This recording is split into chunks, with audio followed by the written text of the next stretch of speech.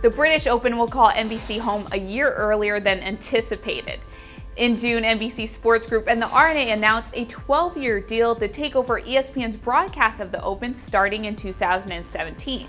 ESPN was set to finish its eight year contract after this year's event. On Monday, NBC announced it had negotiated with the R&A and ESPN to take over in 2016.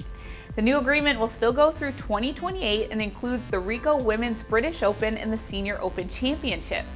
Chairman of NBC Sports Group Mark Lazarus said, quote, First and foremost, we want to congratulate ESPN for their company's successful stewardship of the Open for the last several decades, and we want to thank them for allowing us to start our partnership with the R&A one year early. Airing the Open kicks off a mammoth summer of golf broadcasting for the conglomerate, including the 2016 Olympics, the FedEx Cup playoffs, and the Ryder Cup.